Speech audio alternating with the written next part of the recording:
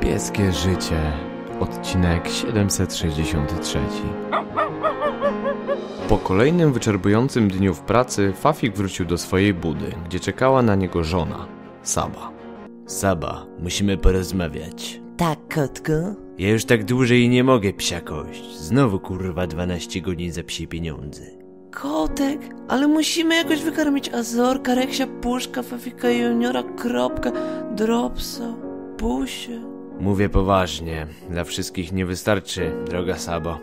Musimy podjąć krok, o którym myśleliśmy od dawna, ale żadne z nas nie odważyło się tego na głos wyszczekać. Fafik nie! Dokładnie tak. Wybierz dwa, które najmniej kochasz. Ja załaduję je do plastikowego worka i spuszczę w dół rzeki. Ale ja wszystkie kocham jednakowo. Stul pysk. Jest coś, o czym musisz wiedzieć, Fafik. Jestem stofikiem. Nie wyrzucisz szczeniaczków, zabieram je ze sobą. Tofik ma większą budę i szybciej aportuje. Ty bura suka. Tfu. I nienawidzę cię. Won mi stąd. Nigdy nie pokazuj mi się tu najwięcej na oczy. Od tamtej pory nikt nie widział naszego bohatera.